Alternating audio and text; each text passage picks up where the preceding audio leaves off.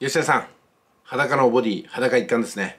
まあ、私がね、あまり肌を出したくないのは、YouTube の規約的にアウトかなっていうところもあるんですけども、視聴者さんの目の毒かなっていうところも大きいんですよ。まあ、それによってね、もうチャンネル解除とかね、もう見たくねえよみたいなこととかね、えー、そこまでいかなくても、実はあの、動画を撮りながらね、食事をしてる方がもうそれね、食欲なくなっちゃったみたいな迷惑をかけちゃいけないかなっていうところもありましてね、いろいろ気を使って露出範囲を限っております。私がね、若い娘さんなら別なんですけどもね、私のヌードはあまり喜ぶ人いないと思いますんで。まあでも吉田さん、なかなかいい体してるじゃないですか。トレーニングほとんどされてないと思いますけども、でも私はこう思うんですよ。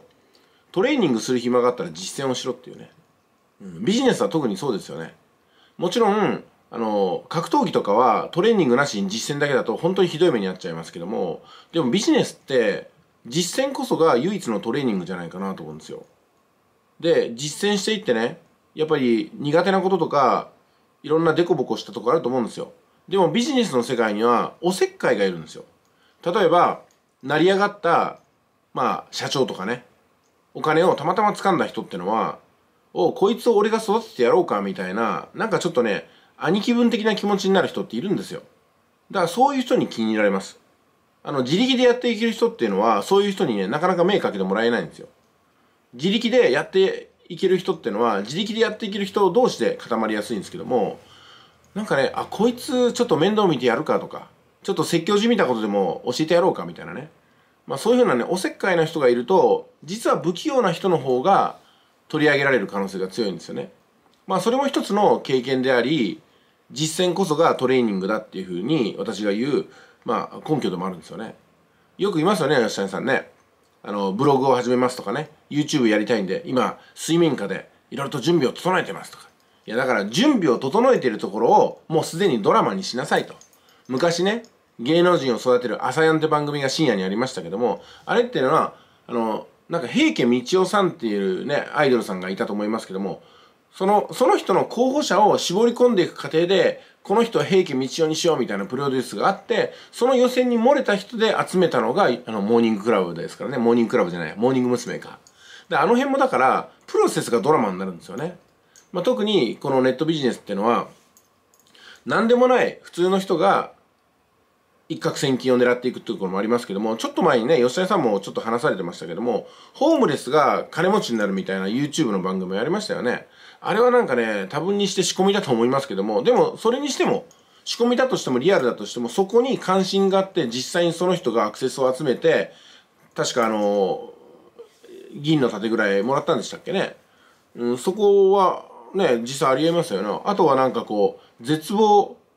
なんか派遣社員みたいな、番組があったと思います機関校でしたかね。まあ、あれもね、あの、本来でしたら、あの、なんですか、機関校って言って、底辺職業の40歳で落ちぶれるところを、あれをドラマ風に、あれプロの方がやってると思いますけどもね。あの、きちんとカメラ回して、テロップつけたりとか、いろいろ工夫されてね、あの、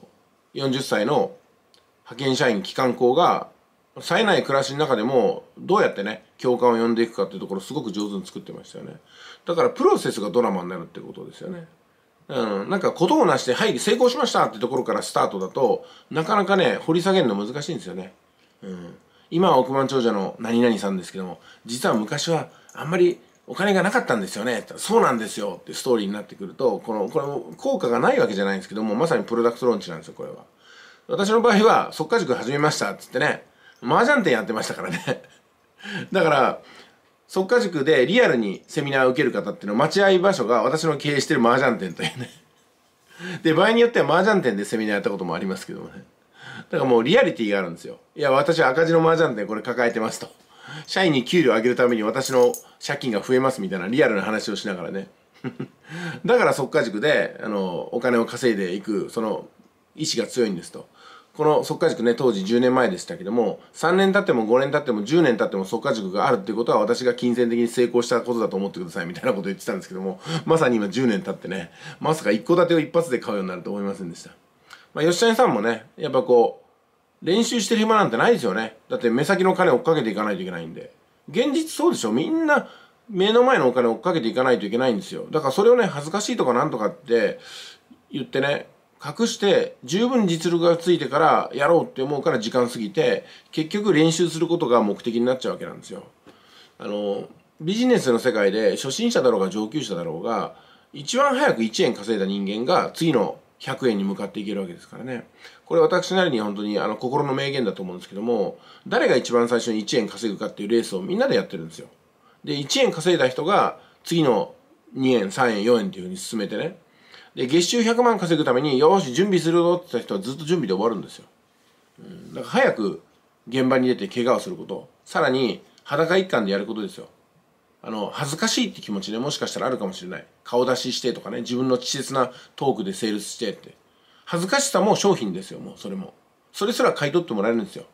お前まだまだだなと、俺んとこで修行しろよ、みたいな感じとかね。なんか、たどたどしいけど一生懸命やってるから買ってあげれば、みたいなね。あの、マネキン販売に出くわした、あの、スーパーのお客さんみたいな感じですよね。うん、だからね、不器用なら不器用なりに発信することをアプローチすることそしてその成長の過程を見せていくことによって力がついてきたからそろそろね商品買ってやろうかみたいな人も出てくるんですよ。だからあらゆるフェーズにあのマーケットがあるんですよ。あらゆるフェーズにですよ。それこそ借金抱えた人だって商品売ることできるんですよ。億万長者だって商品売ることができるんですよ。借金抱えた人億万長者その間全部にマーケットがあるんですよつまりあなたにもあなただけのマーケットがあるってことですよねだからそこを無視してうん、裏方で準備してる。水面下で練習している。そんなところにマーケットはないですからね。ぜひ、その裏方も水面下も全部公開する。それがビジネスだと思います。ね、吉田さん。じゃあ、お疲れ様です。